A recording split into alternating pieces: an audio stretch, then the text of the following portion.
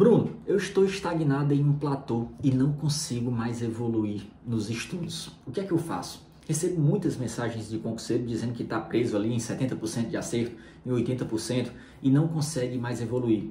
Como você continuar aumentando esse índice de acertos? Vou trazer uma dica bem bacana aqui. E claro, isso pode acontecer devido a diversos fatores. Vou falar de um fator importante, tá? Porque se você é um concurseiro que já está avançado, que você chegou a um platô para você sair desse platô, tem algo que é básico. Você precisa fazer revisões rápidas e constantes. Para isso, pressupõe que você tem uma forma rápida de rever aqueles, aqueles, aqueles assuntos já estudados, aquelas matérias, que é um material de revisão.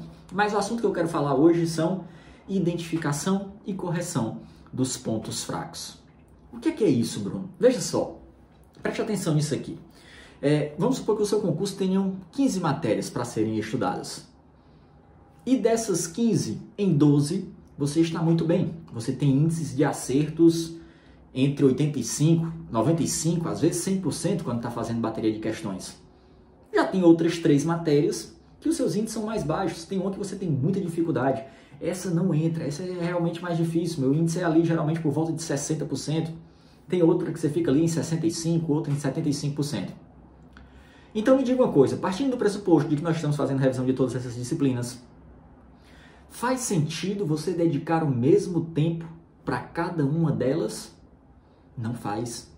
Você tem que dedicar bem mais tempo para quê? Para o que é seu ponto fraco, para aquelas três onde seus índices, nas quais seus índices são bem mais baixos, de 60%, às vezes 50%, naquelas em que você tem dificuldade.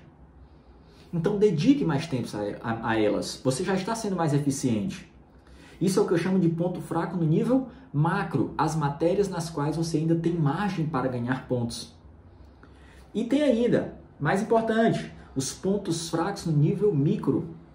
Às vezes, dentro de uma matéria na qual você é bom, você tem índices bons, se você pegar direito constitucional como um todo, Bruno, meu índice é de 90 a 95% de acerto. Só que das 10 aulas de direito constitucional, tem 8 nas quais meus índices são bacanas mas tem outras duas que eu ainda estou mais ou menos.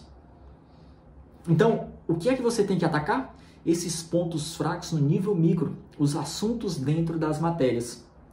Veja que essas arestas, essas brechas é que vão fazer os seus índices começarem a subir. Você começar a ganhar esses pontinhos extras que você ainda não sabia.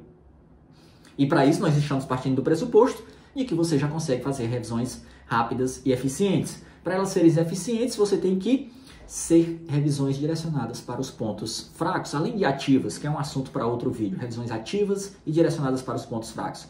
Você fazendo isso, você vai começar a parar essas arestas, você vai começar a ganhar esses pontinhos que estavam faltando e vai começar a distribuir melhor o seu tempo para o que é mais importante. Porque se a gente deixar correr frouxo, sem pensar para onde nós podemos dedicar mais tempo, o que é que vai acontecer? Às vezes a gente fica revisando só o que a gente mais gosta, porque seu índice de acerto é melhor. E aquelas últimas aulas, as mais complicadinhas, mais chatinhas, vão sempre ficando de lado.